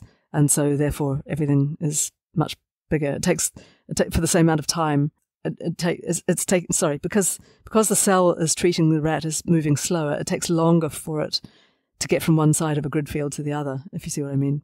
And so it's gone, it's gone a bigger distance. So, so that was Giulio's explanation for why these, these fields are expanded. So that was different from what we saw on the pegboard. And we thought, well, that's sort of, um, interesting. So does that mean that the animals not that the grid cells aren't really tracking the space um, above the rat's back? so um, so it's tracking the surface that the animal is on, and it's not interested in movement of the rat that's orthogonal, so perpendicular to that to that surface. So then we thought, well, what would happen if the animal could move around volume, actually move freely in all three dimensions? So Roddy Grieves came to my lab at that point, and he um, he took up a postdoc with me and set about trying to solve this technical problem. So this is one of these things that we mentioned that it's a natural extension, and you know, it's sort of doing something different from what anyone has done before, but it requires an enormous amount of work to make it happen. So he um, he set about figuring out how to record wirelessly and how to track in three dimensions. So you need multiple cameras to be able to pinpoint the location of the animal in three dimensions. It's really a tr- very tricky technical problem. Um, and he spent a couple of years solving it and then a couple of years recording place cells and grid cells. And he found that, that the place cells would produce globular place fields in this volumetric space. So as if the, the so the, the region where the cell would become activated, if you map out that region, it forms a three dimensional form, a globule. If you, you know, what's technically called a spheroid, I think, or something, but I think of it as globule. um, and these globules per- permeate that volumetric space. And we were quite pleased to see that pattern because it was similar to a pattern that um, Nachum group had reported in bats. So in, in their um, animals, these because they're bats, they can fly in three dimensions. And Michael Yartsev, who was a PhD student in, in Nachum's lab, had really beautifully shown that there would be these three dimensional place fields distributed throughout this um, volumetric space. And we saw almost exactly the same pattern in the rats. So even though rats and bats are um, kind of different in how they normally explore space, their place cells seem to encode it in a very similar way, which was interesting. And then the question is, what would the grid cells do? And we were still, still at the stage thinking that the grid cells are how the place cells are able to track the distances and therefore to know where to position their, their firing fields. So we thought that we might see um, a lattice in three dimensional space, so a three dimensional grid where the symmetry of the pattern is maintained, the regularity, you know, the repeating pattern is maintained in the vertical dimension as well as in the horizontal dimension. And um, Nachum Ulanovsky's group, meanwhile, have been doing um, a similar experiment in their bats. So, um, PhD student, I think, I think either a PhD student or a postdoc, Gily Ginosar in his lab, had solved this also technically amazingly tricky problem of how to record in flying bats. so really, you know, incredible work has gone into into this seemingly simple experiment. And she had found, and they've not published this yet, but they've published several abstracts and, and shown this data at several conferences now, and we've had a talk to them about it. And, um, and they're seeing that, um, that the grid cells are forming uh, globules, so, so three dimensional firing fields, that are distributed throughout the space, but in a non regular way. So they have the same blobby appearance that we see on a horizontal surface, but um, it's not regular in the way that we see on a horizontal surface. Um, and then Roddy um, in my lab um, got the data from our rats, and we saw something that's pretty similar, except with, with one difference, which we're trying to understand at the moment. Um, so he, again, has seen blobbiness of the firing fields of these cells, uh, and it's distributed evenly throughout the volume, but so not in, um, not, not in, a, in any kind of columnar arrangement. So clearly the cells are able to track vertical distance but um, it's not in a regular way. Now, the difference between um, what the Ulanovsky group have seen and, what um, we've seen is that they, when they look at the statistics of the distribution of these firing fields, they see that although the distribution is irregular, the spacing is more regular than you would expect if it was random. So they see these more um, stereotyped distances so there's an overrepresentation of a particular distance for a just particular not as precisely, cell. or it's it's just not precise enough to, to generate a regular grid, but it's there in the statistics. We have looked carefully at the statistics of our firing fields, and we don't see that in rats. And so we're trying to figure out is that because we've just not used the same statistics, although we've we've tried to do the same type of analysis. Is it that rats and bats are fundamentally different? That seems unlikely to me. what seems most likely to me is that there's a difference that's been imposed by the fact that the the bats can smoothly and uninterruptedly traverse their environment in any direction, whereas our rats are constrained to the directions that are orthogonal to the axes of the maze because they're climbing through this um, lattice-like maze. So they so they have to they, they can only go in certain directions. They can't go diagonally very easily, for example. So I think that that constraint is enough to disrupt the spacing. That's my working hypothesis. But we're trying to work our way through that at the moment with the help of some kindly anonymous reviewers. so we'll have to see what um, what emerges from that story. Um, but yeah, so so putting that together with the other results that we got, it looks like the exact nature of the firing fields, so the distribution of firing in different environments, depends on the type of environment and the constraints that are placed on the animal's movements. So on the pegboard, we saw that the grid cells didn't track height, but in the lattice, we're seeing that they are tracking height. So there's something different about those two environments, and it may be to do with the ability of rats to move uninterruptedly in vertical dimension or something. I, I don't know exactly what it is. There's a lot of work to find out exactly what it is, but it certainly looks like the um, the map is so as I think of it, it's not out there in the world and, and the animals are moving through it. the map is kind of constructed on the fly as a function of what the animal can see and what it's able to do um, and which way it thinks it's facing and, and all of this type of stuff, how fast it's able to move and whether it's getting good uh, speed information or if that's been disrupted and so on. So it's a variety, compl- complicated web of different types of input and a variety of different maps for different settings.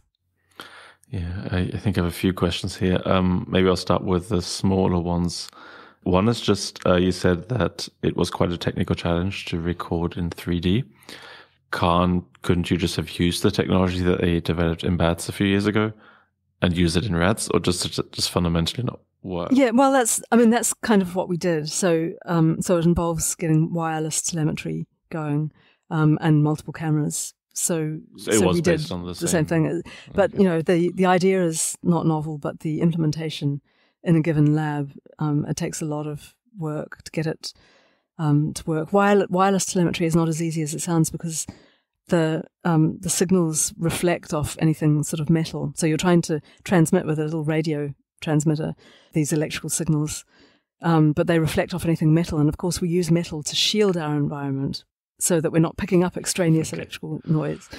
So, that, so there's all sorts of technical challenges, and, and, you know if the if the animal gets too far away from the um, receiver, then the signal drops out, and and um, in a in a lattice environment, if you're trying to track the LEDs on the head of the rat, um, because you've got physical struts that are creating the lattice that shield that that blocks off the the light, so you need lots of cameras and you know, then you need to stitch that all together in, in software and, and, stuff like that. So it's um, it's a non-trivial thing to yeah, get okay, going. Okay. Um, the other question is: you mentioned earlier that both Richard and John were big on thinking about what kind of things the animals will naturally do. Now, how three dimensional are rats in their normal lives? I mean, it seems to me they're quite a bit more three dimensional than humans, for example. I mean, apart from like stairs or ladders, we pretty much are two dimensional. And uh, I mean, I, I, don't know much about. I mean, I, we had hamsters when I grew up, so I know that hamsters like they always like climbing in on the ceiling and everything, right? Um, if you're in their cage. But um, yeah, I'm just curious, like how natural of a behavior is this kind of climbing up or through things? Or yeah, that, that, that's a good question, and, and, we we had the same question because we thought of rats as um, animals that lumber around on the ground because that's all we'd ever seen in the lab. So I I actually um, went to our home office. So in this country, we have like all animal research is overseen by um, a government body called the Home Office um, which you know makes sure that the ethical um, procedures are, are all tightly adhered to and so on. And they have lots of experts that they consult on various things. And so I went to them and said, you know, if I wanted to study a um, a, a small mammal that would be tractable in the lab that's got a three dimensional ecology, uh, what would be a good um, species to study? And they went away and came back and said, we think um, the rat. um, and it turns out that actually rats have a very three dimensional ecology. So they live in these three dimensional burrow systems, but also um, in the wild, they do a lot of climbing. And, and, in fact, I discovered this firsthand when we moved into this house that we, we live in currently. And we had this big apple tree in the backyard. And I looked out the window one day just after we'd moved in and could see all this movement. And I realized that it was teeming with rats. Like there were several of them, three or four of them. and it turned out that our next door neighbors had a colony living under their lawn. And when rat colonies get too overpopulated, the, the rats that are the, at the bottom of the hierarchy, so the ones that get bullied, yeah. Um, will violate their normal nocturnal instincts and they'll come out during the day. And so we had rats coming out into our garden and, and climbing up the tree and, um, you know, fighting with squirrels and all sorts of entertaining things. And, and so just watching them, they, they scuttled around the branches very, very happily.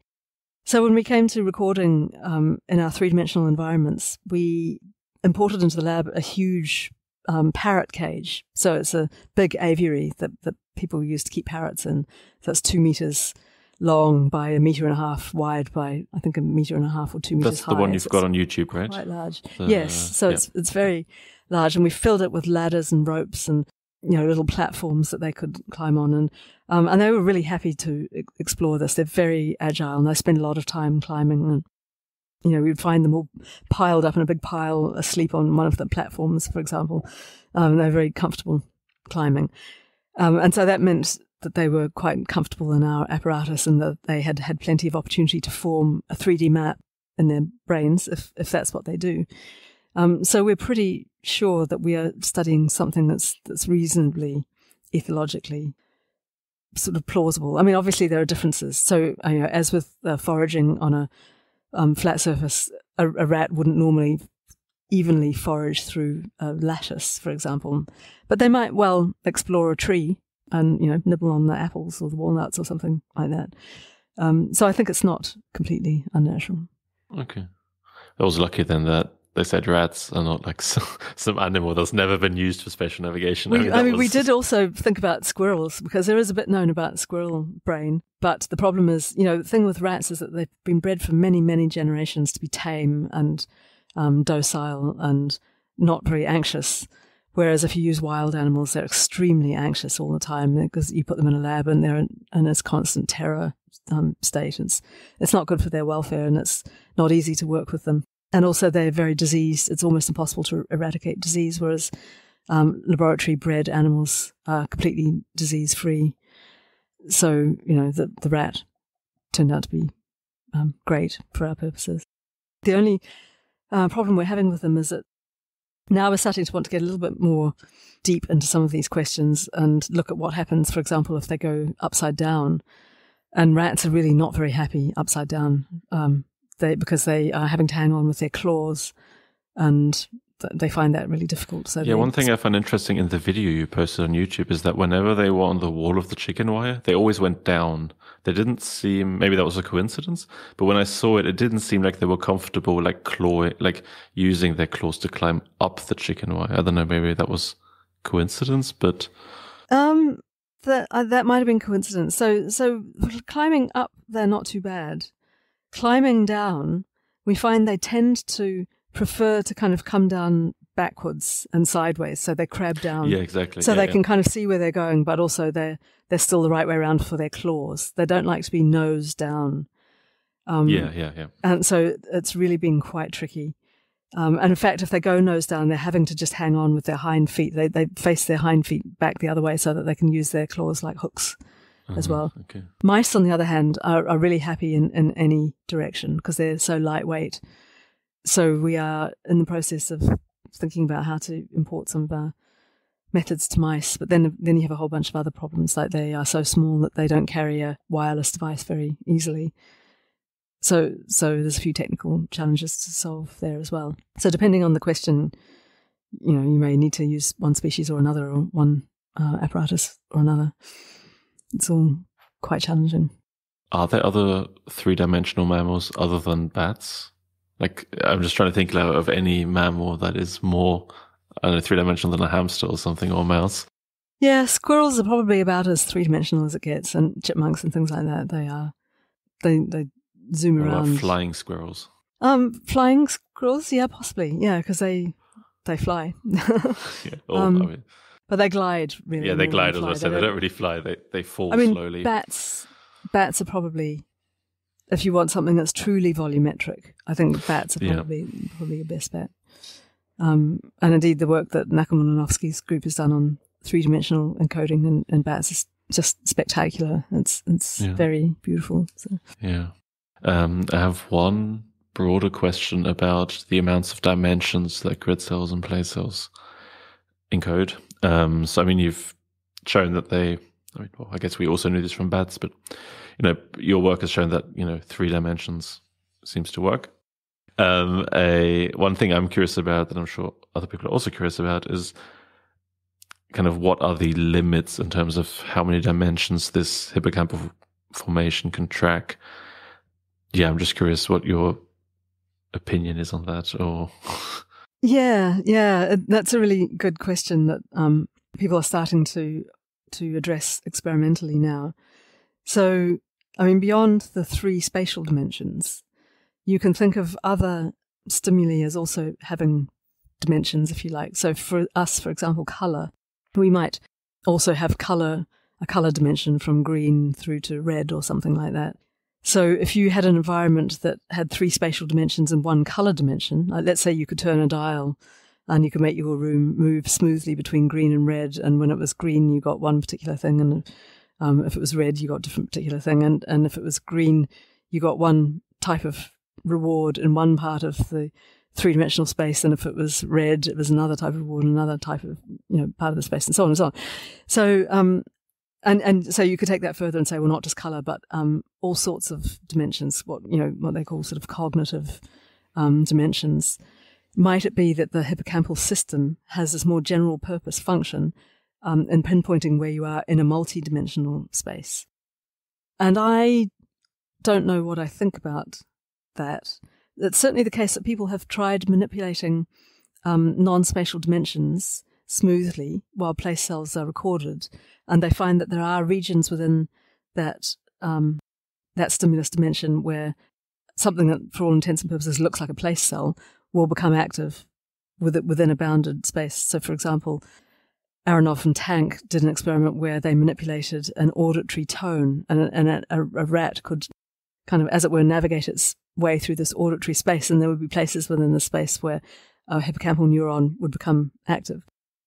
So that's quite that's quite those types of findings are quite tantalizing. Um, so the question is: Is this a really weird and unnatural stimulus that the brain has decided to represent using its spatial module because it doesn't know what else to do? or is it is this really the fact that space is just one form of a um, multi multi dimensional um, processing capability. And three of those dimensions are used to represent three spatial dimensions, but there's all sorts of other things that could also be represented. And, you know, time, for example. Um, and indeed, if you look at time, if you set up your experiment so that time is a relevant dimension, um, then place cells start to show what they call time fields in that space. So, I mean, I, I don't know what, what I think. I think it's really intriguing. I think that's the next big question to answer. Very intriguing um, speculations about um, these higher dimensional spaces. And in humans, maybe um, that capability has been co opted to allow us the very sophisticated um, cognitive capabilities that, that we have. Yeah, I mean that's that's the the perspective from which I'm asking. So my stuff is in humans, and I mean as as as interesting as the whole spatial navigation literature is, in some sense, I don't care too much about how people get from A to B, um, but more about like all other things that you could represent in, well, that that uh, that have a dimensionality to it, um, and or a continuous um, quality to it, and. So interesting. So, so tell me more. So, are you able to reveal what your experiment well, I'm not doing it directly. No, it's just. Oh, okay. I mean, this is something. Um, I mean, there are in humans, there are quite a few studies where they, I mean, Tim Behrens has been doing most of that, or a lot of the most famous stuff there. Um, and I think my point is more that I'm not working on that directly right now. It's more this is just something I'm curious about. Like, I see. Yeah. To what extent is, I mean, number one, can any dimension be encoded in the hippocampal formation? And number two, how many can be tracked at the same time? Mm. So is this because so far we've only I don't know what the maximum amount of dimension is anyone has tracked in a Is it three? I don't know. Like at the same time. Well, I don't know. I mean, so so there. Yeah, I, I, I don't know actually. I was going to say that there there are place cells that have a um a place field, but also if you when it's in the place field, if you manipulate some other stimulus, you can um, get firing um, within the bounds of that stimulus as well. So the cell will only fire if the animal is in that place and experiencing this other stimulus, for example. But having said that, that's been done in two dimensional spatial environments. Yeah. So I guess the maximum dimensions are still three. So the question is, could in a three dimensional environment, could you have a four four dimensional yeah, exactly. Cell? Yeah, and I, I, think it's quite possible, quite possible, because you know the hippocampus does do a lot of associating, and place cells do seem to be very interested in tracking movement through some continuum relative to some fixed point. So, um, yeah, I, I, guess we will find out. Future, okay, yeah. Future research. Yeah. Um, I, I have two more points, but I don't think we'll get through it without making this too long. Um, I mean, like one thing I was interested in is, uh, um,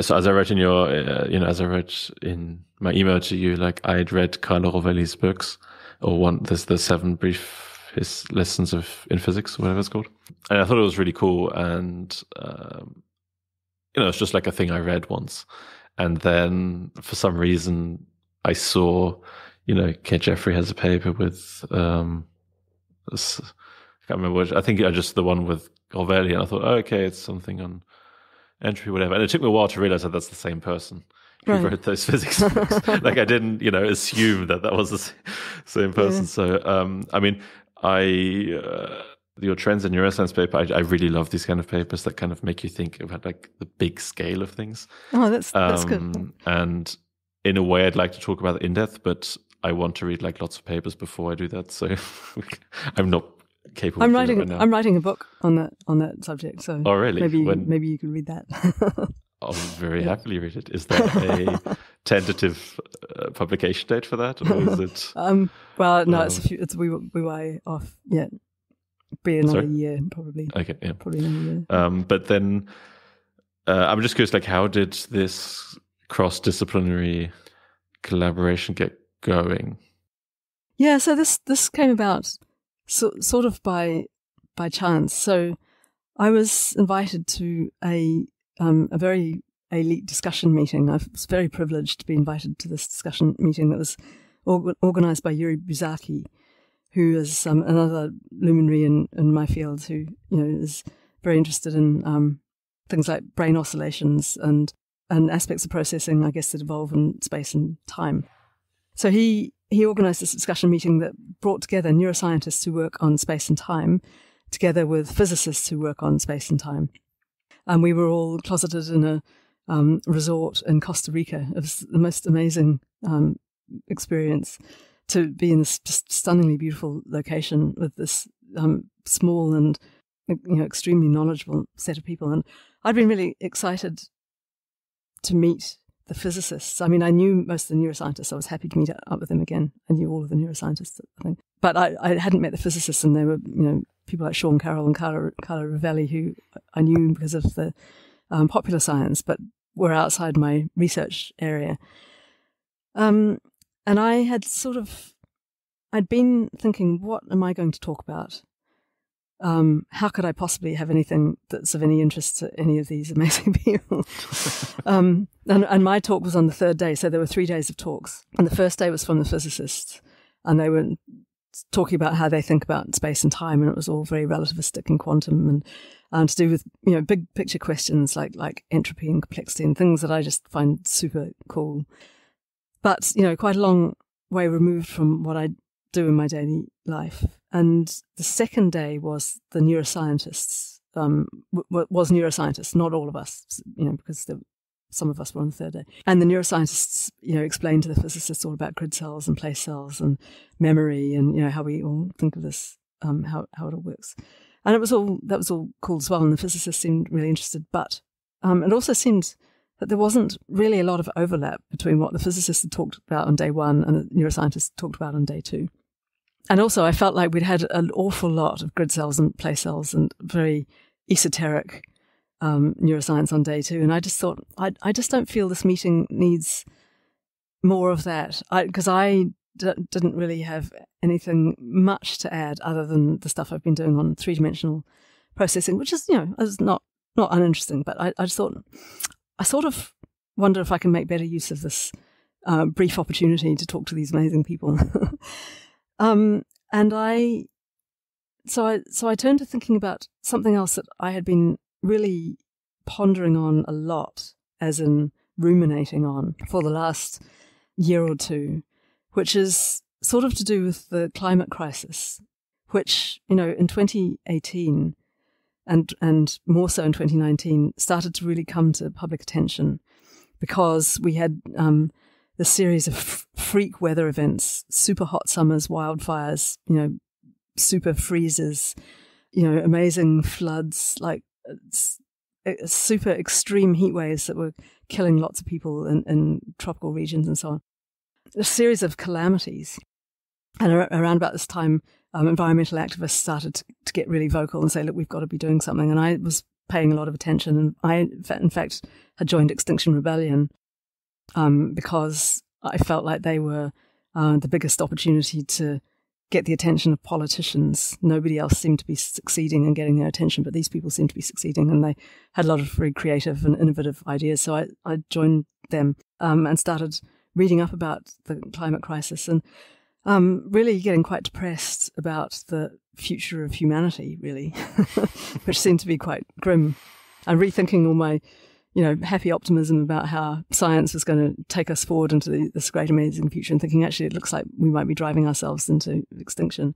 And reading reading up about um, climate over paleontological time, trying to understand how we got into this situation, and and just thinking about you know really big questions to do with the evolution of the universe and the evolution of life and um, how does this fit in with entropy? Like, how did how did life come to be? How did we become so complex? And so amazing on the one hand, and yet be about to drive ourselves into extinction. How um, how does this all work scientifically, and and how does that fit with entropy? And my understanding of entropy was that really it involves the um, the constant creation of disorder. You know, things break, eggs break, things don't spontaneously form. You know, a house of cards collapses, but houses of cards don't spontaneously form. You know, on the one hand, on the other hand, life spontaneously formed. Is life some type of reversal of entropy? And and I was familiar with um, Schrodinger's work. You know, Schrodinger, the physicist who, who gave us the uncertainty principle and so on. And I was familiar with his his musings on the subject back in the 1940s, and he had speculated that life um, was somehow able to reverse entropy on a local scale. So clearly, you can't reverse entropy on a global scale. The laws of thermodynamics are the laws. You know, they can't, they can't, they're immutable. The universe is running out of free energy. But life can sort of temporarily row back on that by borrowing entropy from its surroundings, if you like. It uses energy to kind of reverse entropy. That was my understanding of what Schrodinger was saying. So, so I presented that. I decided I was going to present this to these physicists, and I spent the whole night before my talk um, writing this completely new talk from the one I had intended to write. And my heart was in my mouth, and I thought, oh God, this could be career ending. You know, um, I've gone way above my pay grade. I'm talking about all of these things I know nothing about. It's not what I was brought here to talk about. This is possibly a terrible mistake. But, you know, humanity's headed for extinction, so I don't care. This is my one chance matter. to talk about the climate crisis to all of these people. Um, and so I did. I, you know, I, my opening slide was, you know, um, the fate of complexity in the universe. Um, and I put this up there, and the whole room erupted into laughter and then applause. and I thought, oh, maybe this is going to work. I, I don't know. Um, but at that stage, I was full of adrenaline. I thought, I, I don't care. I'm gonna, I'm just gonna do it. And so, so I laid out this whole problem from start to finish. This is how the um, universe unfolded. And you know, harking back to the talks we'd had on day one, and and um, Sean Carroll talking about complexity and how it, it, first increases and then decreases, and Carlo Rovelli talking about entropy and, and um, so on, and time, and this was all woven in. I said, okay, so the physicists have told her this, this, um, but my my understanding as a biologist um, is this, and I and I went through the evolution of life and the evolutionary transitions. And these are the things that I then talked about in this paper that, that you've read. Um, how we how there seem to be these step changes, these step increases in, in what life can do. How does that question here? Did this? you know all of that already? Because to me, this was like one thing that I found so cool reading this was like these are all these things I've I I mean, and you know, I just didn't. I've never read any of those papers or anything like that, right? Yeah, no. So so at that stage, I was still of the view that life is a reversal of entropy. Um, that I had the Schrodinger view. Life manages to temporarily reverse entropy by borrowing it from its surroundings. But there was a there was an explanatory gap there. Like, how does it do that? What makes it do that? Why does complexity seem to go against entropy, and yet complexity seems to inexorably increase over evolutionary time? Like we evolved from single-celled or- organisms to societies of humans, which you know we are, we like to think we're very complex, and I think we, we are. I think it's not unreasonable. Um, but but you know, why does complexity seem to evolve in one direction? You know, like there's there's a there's a there's a gap there. So I laid that out to the audience. I said, "What's the gap?" Physicists help me out here. Um, and so Carlo Rovelli and Sean um, Carroll, you know, collared me afterwards and said, "You know, we we think we can help." And um, so so I had some really good conversations with them both separately and also together. And indeed, Sean um, asked me um, onto his podcast su- subsequently so that we could have that same conversation in public, as it were. Um, and I would articulate the same problem I was having as a biologist, and, and, he would give the physicist view. And it turns out physicists don't really have necessarily all the answers either, because when they think about entropy, um, they tend to think about an ideal gas in a box. And really, the, some of the notions do get a bit fuzzy when you're talking about highly complex systems. But the second law of thermodynamics, nevertheless, runs through everything, and that is immutable. Um, but the really big in, um, insight came from Rovelli, and he said, "Look, you've you've got it wrong about life reversing entropy. Life is not reversing entropy. Life is an entropic process. The mistake that you've made, that Schrodinger made, and lots of other biologists have made, is equating order with entropy. So while it's true that entropy often creates disorder, entropy can also create order.